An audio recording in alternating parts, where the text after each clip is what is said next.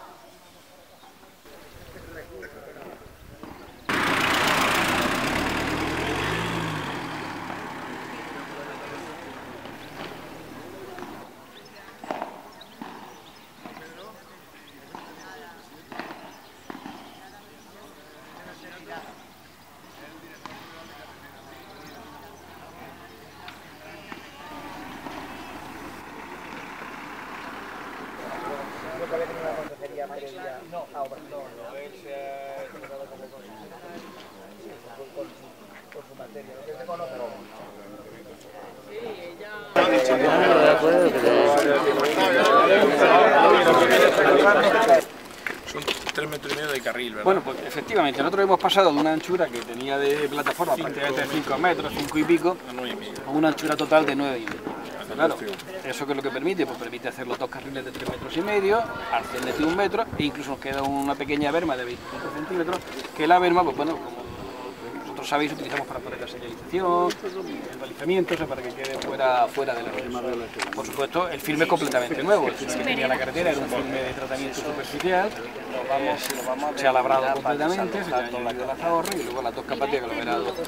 ¿Qué, qué firme, qué. Bueno, realmente el tráfico pesado es pequeño, porque esto es un tráfico de 3, de 4 o 5 amperas, pero realmente ya, pues, eso porque también había poco tráfico por el que tenía la carretera. Es decir, que esto es un poco posible, pero el huevo a la gallina hay poco tráfico porque la carretera está mal, arreglar la carretera y aumenta el tráfico. O sea que curiosamente en el aforo que tenemos ya de este año es de las pocas carreteras que el tráfico eh, no ha descendido tanto, porque tenemos un descenso general de tráfico en toda la red. Pero sin embargo, esta carretera se mantiene en torno a los 1.500 vehículos al día, que para ser una carretera de tercer nivel, vale, está bien. Todas las carreteras de más de 1.000 ya son carreteras que requieren manutención. Por eso a niveles de... sino también pues el acceso a otras vías y a otros caminos de, de esta zona.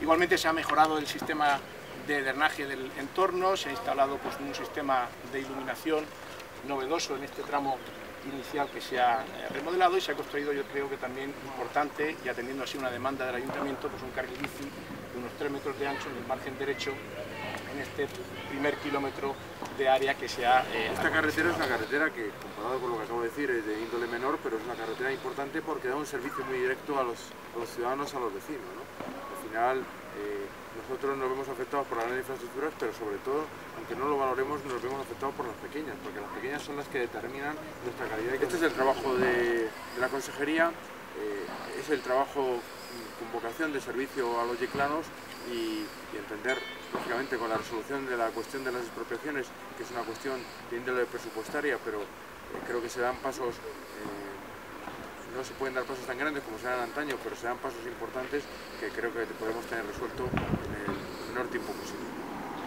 Nada más, pues yo creo que es motivo de segunda, la piedra, primera piedra del segundo cuanto antes. No sé si me apetece más, antes de poner la primera piedra del segundo, resolver el tramo periurbano, que es importante, porque da más, más solución a, a flujo de, flujo de tráfico.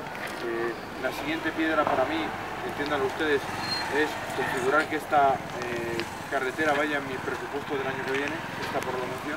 Ese es el trabajo de la consejería, ese es el trabajo del director de carreteras para, para el presupuesto del año que viene y lo defenderemos en función de que la situación eh, la situación presupuestaria de la comunidad autónoma razonablemente lo que cuando se trazó, se hizo, se definió eh, desde Blanca hasta Jumilla, no se definió desde Blanca hasta Yecla, ¿no?